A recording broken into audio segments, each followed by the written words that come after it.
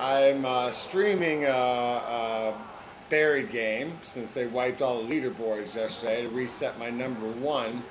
And another thing that Trollarch did was nerf the Petrifier.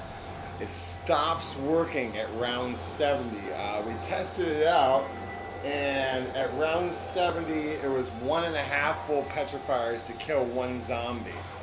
Um, uh, we did it again at round 80. It was three and a half full petrifiers to do it. 87, it was 12.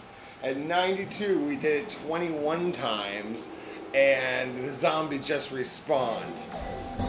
So, good news is, uh, people who do pile-up glitches and used to get uh, mad kills will no longer be able to do it past round 70.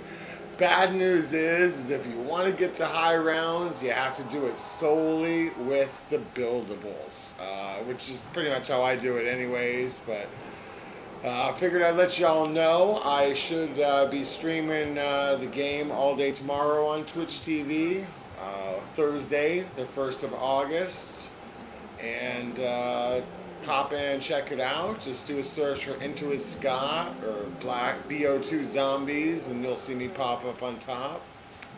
And uh,